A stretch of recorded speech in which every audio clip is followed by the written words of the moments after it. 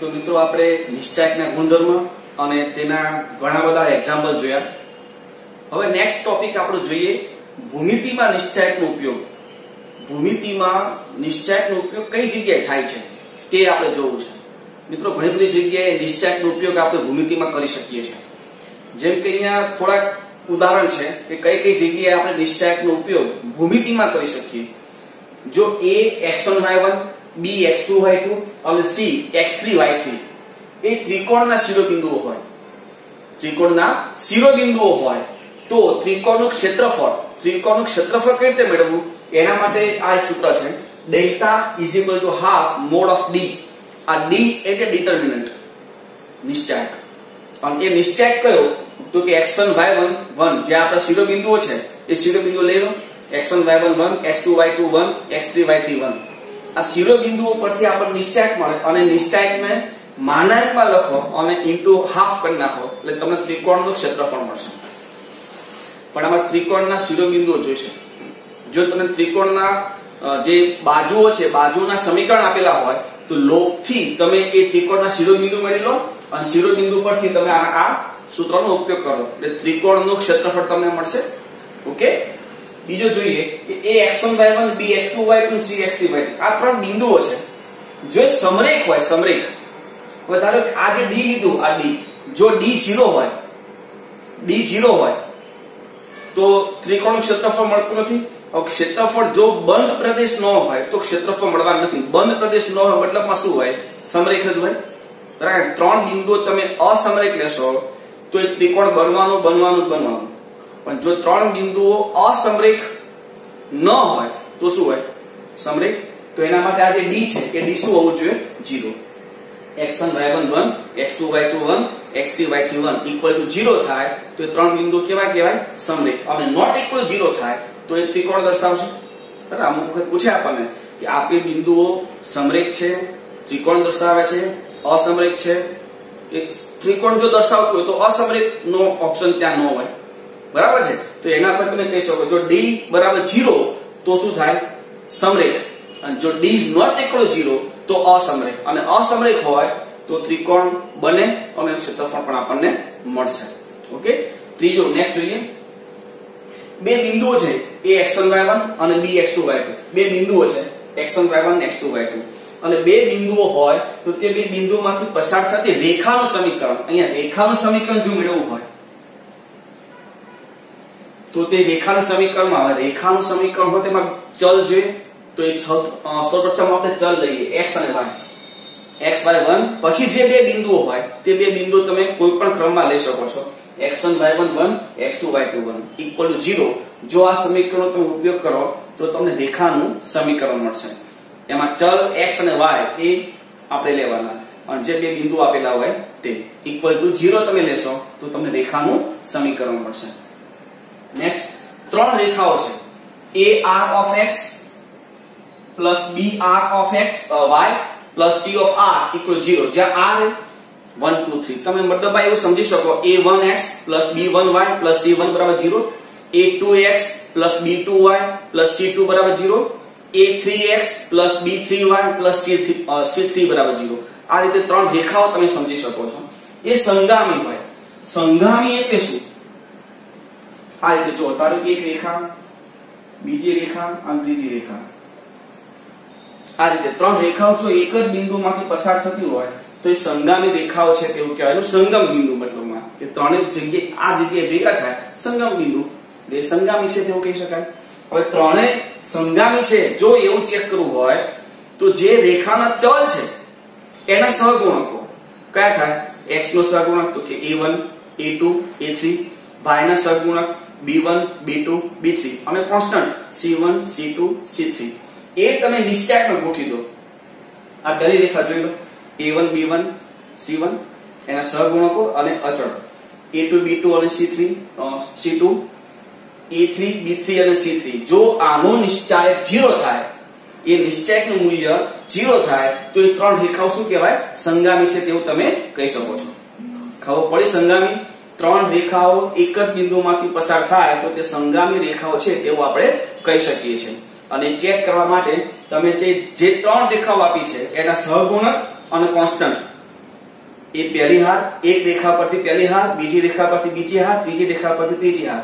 તમે એને કોલમમાં પણ લખી શકો છો કે ફરક નથી પડવાનો. પહેલી રેખા, પહેલી કોલમ, બીજી રેખા, બીજી કોલમ, ત્રીજી રેખા, ત્રીજી કોલમ. જો તે નિશ્ચયકનું મૂલ્ય તમે ઝીરો મળે, તો તે સંગામી છે તેવું આપણે કહી શકીએ છીએ. અને આ તો તમને ખબર જ છે કે આપણે રેખા ચેપ્ટરમાં જોઈ ગયા છે પેર ઓફ સ્ટ્રેટ લાઈન રેખાઓમાં. તો રેખાઓમાં આ જે રેખાનું વ્યાપક સમીકરણ છે, જો આ રેખા દર્શાવતું હોય, તો એના માટે આ નિશ્ચયનું મૂલ્ય શું થવું જોઈએ? Zero. A A G A H G H B F અને જી એફ સી એ તમને અહીંથી મળશે. એક્સ નો સહગુણ એ એક્સ નો સહગુણક એટલે 2x જેના પરથી h મળી જશે. y સ્ક્વેર સહગુણક b, x નો સહગુણક 2g જેના પરથી g મળશે. y નો સહગુણક 2f જેના પરથી f મળશે. અને પ્લસ c. આના પરથી તમને a, h, g, b, f, c બધું મળશે. એનું મૂલ્ય જો 0 થાય, તો આ રેખા જે છે, એ રેખાઓ દર્શાવશે. એટલે મિત્રો ટોટલ પાંચ એવી જગ્યાઓ છે, જ્યાં નિશ્ચાયકનો તમે ઉપયોગ કરી શકો છો. ત્રિકોણનું ક્ષેત્રફળ મેળવવા માટે, સમરેખ ચેક કરવા માટે, તમે આ જે છે ક્ષેત્રફળની જગ્યાએ સમરેખ છે કે અસમરેખ? આપેલ બિંદુઓ સમરેખ છે કે અસમરેખ? આ ચેક કરવા માટે પણ તમે આનો ઉપયોગ કરી શકો છો. જો નિશ્ચયકનું મૂલ્ય 0 તો સમરેખ. અને નિશ્ચયકનું મૂલ્ય નોટ ઇક્વલ 0 તો અસમરેખ. બરાબર? એટલે ક્ષેત્રફળ મેળવવા માટે, સમરેખ છે કે નહીં તે ચેક કરવા માટે, બે બિંદુમાંથી પસાર થતી રેખાનું સમીકરણ મેળવવા માટે ત્રણ રેખાઓ સંગામી છે કે નહીં તે ચેક કરવા માટે, અને જો ત્રણ રેખાઓ, એટલે રેખાઓનું વ્યાપક સ્વરૂપ આપ્યું હોય, અને એ વ્યાપક સ્વરૂપ પરથી એ રેખાઓ છે કે નહીં, કારણ કે આ જે સમીકરણ છે, આના પરથી વળતો પરવલય, ઉપવલય, અતિવલય, આપણે સાંકોમાં જોયું છે. ઘણા બધા દરેક માટે આપણે આ વ્યાપક સ્વરૂપનો ઉપયોગ કર્યો છે. તો આ જે છે એ રેખાઓનું વ્યાપક સ્વરૂપ છે કે નહીં તે ચેક કરવા માટે આ નિશ્ચયક મૂલ્ય શું થવું જોઈએ? જીરો. જો એ જીરો થશે, તો આ જે વ્યાપક સ્વરૂપ છે એ રેખાઓ દર્શાવશે. એવું આપણે કહી શકીએ છીએ. એટલે આવી ટોટલ પાંચ જગ્યાઓ છે જ્યાં આપણે ભૂમિતિમાં આ નિશ્ચયકનો ઉપયોગ કરીએ છીએ. ઓકે? લખી લો.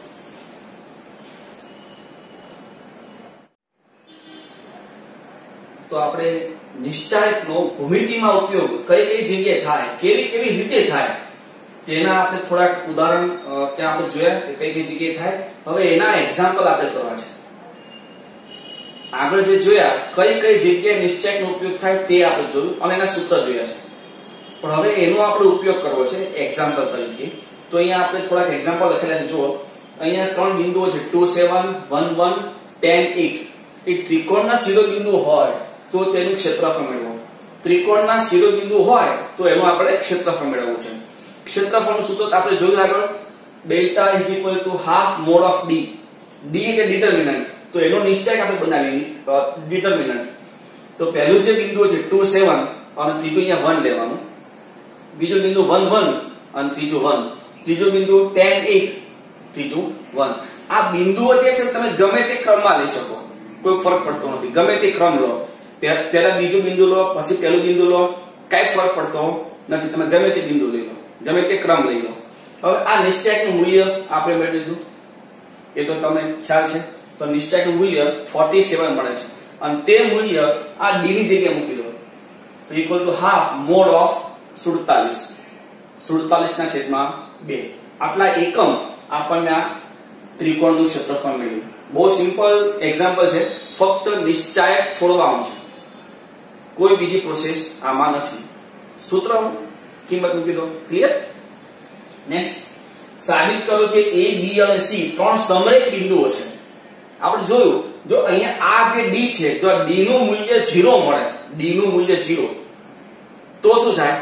ત્રણ બિંદુઓ સમરેખ થાય. અને જો સમરેખ હોય તો ત્રિકોણ બનતું જ નથી. અને ત્રિકોણ ન બને, તો એનું ક્ષેત્રફળ ક્યાંથી મળવાનું? ક્લિયર તો અહીંયા એ બી અને સી ત્રણ સમરેખ બિંદુઓ છે તેવો આપણે ચેક કરવું છે. જો સમરેખ હોય તો એ ત્રણ બિંદુઓથી બનતો જે નિશ્ચાયક છે, એ નિશ્ચાયકનું મૂલ્ય શું થવું જોઈએ? જીરો ઓકે જોઈએ આપણે. અહીં આ જે નિશ્ચાયક છે, તો એ નિશ્ચાયક એ બી પ્લસ સી અને વન આ જે બિંદુ છે, તમે બિંદુ ગમે તે લઈ શકો છો? અને એક્સ આમ અને વાય આમ એ ચેન્જ નહીં કરતા. બરાબર? તો x આમ a y B b c, અને પછી કમ્પલસરી 1 એ જ રીતે b, c a અને 1 પછી c, a b અને 1 બિંદુ ગમે તે લો, પણ x આમ અને આમ, એ ચેન્જ ન થવો જોઈએ. એક બિંદુ એક જ હારમાં હોય, અથવા એક જ સ્તંભમાં.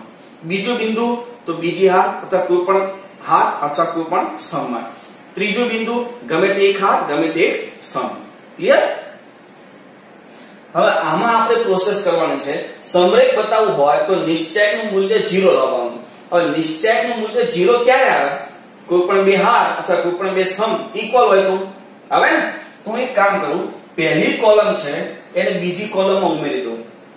પહેલી કોલમ ને બીજી કોલમમાં ઉમેરું. એટલે બીજી કોલમમાં ચેન્જ થાય છે તો C2 શું ચેન્જ થાય છે? તો કે C2 C1 તો પહેલી કોલમ ને બીજી કોલમમાં ઉમેરીએ, એટલે આવું થાય. A આ તો એમના એમ રહેશે, પહેલી કોલમ ABC સી બીજી કોલમ શું થાય? આ A અંદર પ્લસ થાય, એટલે A B C. આ B અંદર પ્લસ થાય, એટલે A B C. આ C અંદર પ્લસ થાય, એટલે A B C. ત્રીજી કોલમ તો 1 1 1 ક્લિયર દેખાય તમને, મિત્રો? બીજી કોલમ જો a b c. કોમન લઈ લો. તો શું થાય? A 1 1 b 1 1 c 1 1 થાય હવે તો ક્લિયર છે. બીજી અને ત્રીજી કોલમ ઇક્વલ છે. C2 ઇક્વલ ટુ c3 તો આ નિશ્ચયકનું મૂલ્ય શું થાય? 0 અને જો એ નિશ્ચયકનું મૂલ્ય 0 થાય, તો આપણે શું કહી શકીએ? આથી બિંદુઓ a, b અને c કેવા છે? સમરેખ અને જો આ નિશ્ચયકનું મૂલ્ય 0 ન આવે, તો શું કહી શકાય? કે આપેલ બિંદુઓ સમરેખ નથી. ક્લિયર સમરેખ ન હોય તો શું બનાવતા હોય? ત્રણ બિંદુઓ સમરેખ ન હોય તો શું રચે? ત્રિકોણ. બીજું કે બને જ નહીં. ક્લિયર નેક્સ્ટ એક્ઝામ્પલ જો ત્રણ બિંદુ આપેલા છે. એના ત્રિકોણનું ક્ષેત્રફળ અહીંયા આપણને 4 આપેલું છે. ત્રિકોણનું ક્ષેત્રફળ 4 છે. તો આ જે અચળાંક k છે ને, આ k નું મૂલ્ય આપણે શોધવું છે. અહીંયા દાખલો જે હતો, ત્રણ શિરોબિંદુ આપેલા હતા. અગ્નું ક્ષેત્રફળ મેળવવાનું હતું. જ્યારે અહીંયા ત્રણ શિરોબિંદુમાં ક્ષેત્રફળ તમને આપ્યું છે. પણ એમાં જે અચળાંક છે, એ અચળાંક આપણે મેળવવો છે. ક્ષેત્રફળ આપ્યું છે તો ક્ષેત્રફળનું સૂત્ર કયું થાય? One half mod of D તો અહીં delta equal to half mod of D તો ડી તો તમને ખ્યાલ છે, ત્રણ બિંદુઓ. તો કે જીરો અને ત્યાં 1 4 0 1 0 2 1 આ નિશ્ચય છોડો પહેલી હારથી નિશ્ચય છોડી તો કે શું થશે જો 0 2 0 માઇનસ ટુ પછી આ જીરો લખવાની જરૂર નથી. વનથી નિશ્ચય છોડ શું થાય? એટ માઇનસ જીરો એટલે એક. તો આ શું તો minus two k plus 8 d નું મૂલ્ય માઇનસ 2k પ્લસ 8 તો આ d જે છે એનું મૂલ્ય લખી દો. 8 માઇનસ 2k લખાય? ને ઓકે આ 2 ને આ બાદ લઈ લો. એટલે 8 8 is equal to mod of 8 minus 2k હવે આ માનાંક છોડવો હોય, તો એનું મૂલ્ય, એટલે માનાંકની અંદરનું મૂલ્ય પ્લસ પણ હોય માઇનસ પણ હોય. તો અથવા તમે આ રીતે પણ છોડી શકો. આ માનાંકનું મૂલ્ય 8 છે. તો આ જે છે, એક વખત પ્લસ અને એક વખત માઇનસ તમે લઈ શકો છો તો માનંદ છૂટી જાય. તો એ રીતે મેં માનંદ છોડી દીધો. આ આઠને એક વખત પ્લસ લખ્યા. અને આઠને એક વખત અહીંયા માઇનસ લખ્યા છે. તો આ બાજુ આ આઠ આઠ કેન્સલ તો માઇનસ ટુ કે બરાબર જીરો તો કે બરાબર જીરો અહીંયા આ આઠ આ માઇનસ આઠ ને આ બાજુ લઈ આ માઇનસ ટુ કે આ બાજુ. બરાબર ટુ કે બરાબર સિક્સટીન તો કે બરાબર આઠ. તો અહીંયા આપણને કે નું મૂલ્ય મળે છે જીરો અને આઠ. પણ મિત્રો એક વસ્તુ ધ્યાન રાખજો. આ તમને જે k નું મૂલ્ય મળે છે ને, આ k નું મૂલ્ય તમને જે શિરોબિંદુ આપેલા છે ને, એમાં મૂકી ચેક કરીએ આપણે. જોઈએ, આ k બરાબર 0 હું આમાં મૂકું છું. તો કયો બિંદુ થયું જો 0 0 4 0 0 2 આ ત્રણ બિંદુઓ છે, અમુક વખત કેવું થાય, ધારો કે k નું મૂલ્ય આપણને 4 મળે 4 k નું મૂલ્ય 4 તો ચેક કરો. 4 0 4 0 0 2 તો આ 4 0 ને 4 0 બે બિંદુ સેમ થઈ ગયા? એટલે એક જ બિંદુ કહેવાય તો? 4 0 4 0 બે બિંદુ સેમ એટલે બિંદુ તો એક જ થયું ને? તો આ એક બિંદુ અને આ બીજો બિંદુ, કેટલા બિંદુ થયા? બે. અને બે બિંદુથી ત્રિકોણ બને? નહીં. તો ક્ષેત્રફળ ક્યાંથી મળવાનું હતું?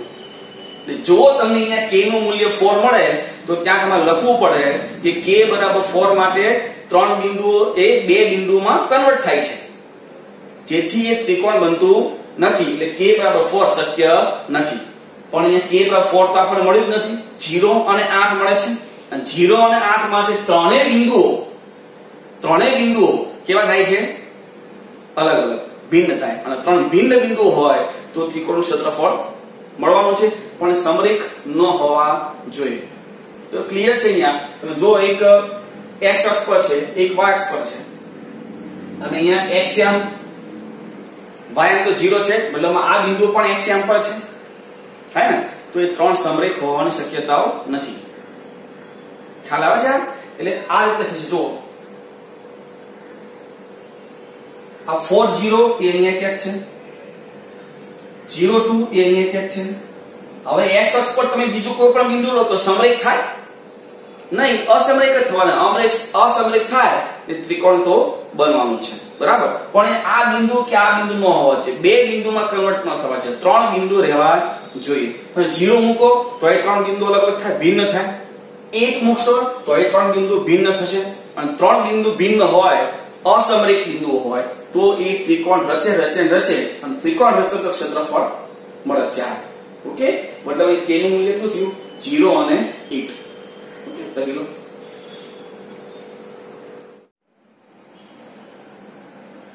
નેક્સ્ટ એક્ઝામ્પલ અહીંયા ચોથો દાખલો એવો કે છે. કે નિશ્ચાયકનો ઉપયોગ કરી બિંદુ 1 2 અને 3 6 ને જોડતી રેખાનું સમીકરણ મેળવવું છે. બે બિંદુમાંથી પસાર થતી રેખાનું સમીકરણ મેળવવું છે ને પણ નિશ્ચાયકનો ઉપયોગ કરવાનો છે. ઓકે? તો આપણે જોયું છે સૂત્ર. જો બે બિંદુમાંથી પસાર થતું નિશ્ચાયક સૂત્ર જો મેળવવું હોય, બે બિંદુમાંથી પસાર થતી નિશ્ચાયકના ઉપયોગથી રેખાનું સમીકરણ જો મેળવવું હોય, તો નિશ્ચાયક ઇઝ ઇક્વલ ટુ 0 પણ એમાં રેખાના બે ચલ x અને y એ સૌપ્રથમ આપણે લેવા પડશે. તો માગેલ રેખાનું સમીકરણ, જો બે ચલ x અને y હોય, તો એ x y અને 1 એ પહેલી આપણી હાર થઈ ગઈ. પછી બીજી હાર 1 2 અને 1 અને ત્રીજી હાર 3 6 અને 1 ઇઝ ઇક્વલ શું થાય? 0 તમે આ હાર ગમે તે ચેન્જ લઈ શકો, એવું જરૂરી નથી. પણ એક ચલ કયો લેવાનો? X, y. એક બિંદુ સ્વરૂપ. બીજો બિંદુ થી ત્રણ બિંદુ તો થઈ ગયા. બરાબર? એ હાર તમે ગમે તે બનાવી શકો. ઓકે ઇક્વલ ટુ 0 હવે નિશ્ચય છોડ દો. X થી તો 2 6 માઇનસ y થી તો 1 માઇનસ 3 અને 1 થી તો 6 માઇનસ 6 ઇક્વલ ટુ 0 આ થશે માઇનસ 4x આ થશે માઇનસ 2 પણ આ તો માઇનસ છે એટલે પ્લસ અને આ થશે 0 લખ્યું નથી ઇઝ ઇક્વલ 0 હવે આમાંથી માઇનસ 2 તમે કોમન લઈ લો માઇનસ 2 તો શું થાય? જો 2x આ minus Y equal to zero તો આ જે છે, એ માગેલ રેખાનું સમીકરણ થઈ ગયું. બહુ સિમ્પલ છે. બે બિંદુમાંથી પસાર થતી રેખાનું સમીકરણ મેળવવું હોય, તો નિશ્ચાય ઇક્વલ ટુ ઝીરો બરાબર? જેમાં બે બિંદુ તો આપણને આપેલા જ હોય. અને ત્રીજું જે છે, એ રેખાના ચલ એક્સ વાય લઈ લેવાના. તો આ ત્રણ બિંદુ એને હાર સ્વરૂપમાં ફેરવી ઇક્વલ ટુ ઝીરો લઈ લો. નિશ્ચય છોડ દો માગેલ રેખા થઈ ગઈ. ક્લિયર નેક્સ્ટ પાંચમું એક્ઝામ્પલ શું કે જો a13 અને b00 ને જોડતી રેખાનું સમીકરણ મેળવો. સૌપ્રથમ તો બે બિંદુમાંથી પસાર થતી રેખાનું સમીકરણ અને ત્રિકોણ ABD A, B અને D નું ક્ષેત્રફળ જો ત્રણ એકમ થાય, તેવું બિંદુ D ઓફ K0 હોય. D અહીં આપ્યું છે K0 તો K મેળવવું છે. બરાબર? મતલબમાં ત્રિકોણના ત્રણ શિરોબિંદુ આપેલા છે અને જેનું ક્ષેત્રફળ પણ આપ્યું છે, તો K મેળવવાનું. આવો દાખલો આપણે આગળ જોઈ ગયા છે. પણ આ એક્ઝામ્પલમાં બે વસ્તુ મિક્સ છે. એક તો રેખાનું સમીકરણ મેળવવું છે અને ત્રિકોણના સમીકરણ પરથી અચળાંક પણ મેળવવો છે. બરાબર? કરીએ? તો અહીંયા a 13 અને b 00 માંથી પસાર થતી રેખાનું સમીકરણ. અહીંયા છે જો નિશ્ચાયક બરાબર 0 નિશ્ચાયકને છોડ દો. તો નિશ્ચાયકને છોડવાનું સૌથી સિમ્પલ ક્યાંથી પડશે? તો ત્રીજી હારમાંથી. તો ત્રીજી હારમાંથી અહીંથી છોડો. 1 3x y 0 મતલબ 3x y 0 આ જે છે, એ માગેલ રેખાનું સમીકરણ થશે. ક્લિયર હવે આનો બીજો જે પ્રશ્ન છે, કે ત્રિકોણ ABD નું ક્ષેત્રફળ 3 એકમ હોય, તેવું બિંદુ D K0 મળે છે, તો K ના યામ આપણે મેળવવા છે. તો ત્રિકોણ ABD નું ક્ષેત્રફળ 3 એકમ છે. તો delta is equal to half mod of D. જ્યાં D એટલે શું? તો કે આ ત્રણ બિંદુ કયા? તો કે એક તો 0 0 1 ઉગમ બિંદુ 1 3 1 અને બીજું આ ડી જે આપ્યું છે તે K01 તો મેં પેલા 0 0 1 ઉગમ બિંદુ લીધું છે. જેથી નિશ્ચય થોડો આપણને સિમ્પલ પડે 0 0 1 1 3 1 K01 અહીંથી નિશ્ચય કરો, તો આ 0 3k મતલબમાં -3k આ ડી નું મૂલ્ય આપણને શું મળ્યું? માઇનસ થ્રી કે. તો અહીંયા કિંમત મૂકો, ડેલ્ટા ઇઝ ઇક્વલ થ્રી. આ હાફ d એટલે માઇનસ થ્રી કે આ ટુ અહીંયા લઈ લો એટલે six mod of minus three k બરાબર? હવે સિમ્પલ ખાલી માનાંક છોડો. દો આ માનાંક છોડો, એટલે છ એક વખત માઇનસ ને એક વખત પ્લસ માઇનસ કહીએ તો minus three minus three cancel તો કે બરાબર ટુ અને જો પ્લસ લઈએ, તો થ્રી થ્રી કેન્સલ તો કે ઇક્વલ ટુ માઇનસ ટુ મતલબ કે નું મૂલ્ય શું મળ્યું? અહીંયા લખાય k is equal to plus or minus two k નું મૂલ્ય પ્લસ ટુ અને માઇનસ ટુ બંને મળે છે. મતલબમાં આ આપણું સમીકરણ રેખાનું અને આ ત્રિકોણનું ક્ષેત્રફળ જો ત્રણ હોય, તો માગેલ અચળાંકની કિંમત પ્લસ ઓર માઇનસ ટુ મળે છે. ઓકે લખી લો.